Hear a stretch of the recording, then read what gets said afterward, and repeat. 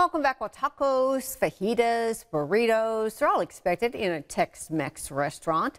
But Charles Burkett found one in Ruston that offers some surprising flavors in tonight's Feed Your Soul. When you go to a restaurant, most people have their favorites, especially the more eclectic cuisine.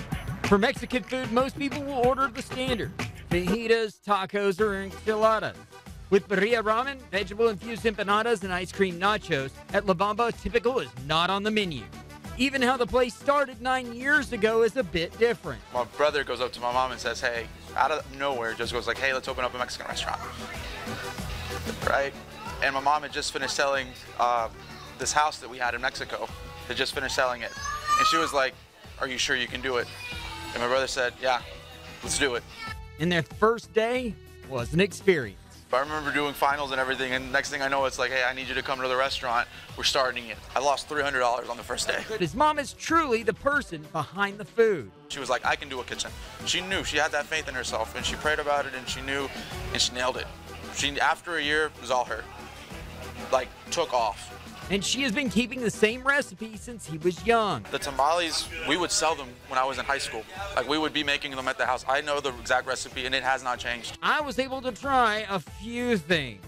We started with the chori queso, with the house-made chorizo. Then the empanadas with the flavors of spinach, carrot, and beef.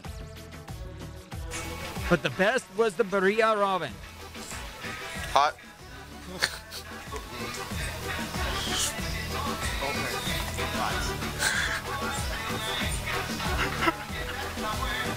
This is crazy good.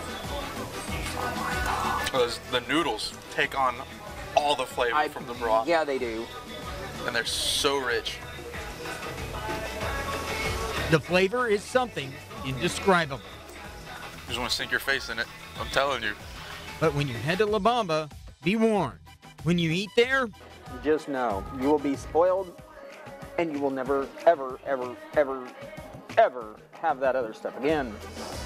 with the unique flavors and dishes, the one feeling you get there, Tone. I mean, it's as, as simple as it sounds. It's just Mexican food just really makes you feel at home, away from home. So, head to La Bamba in Ruston where typical takes a back seat, and you'll still have a feeling of home to feed your soul.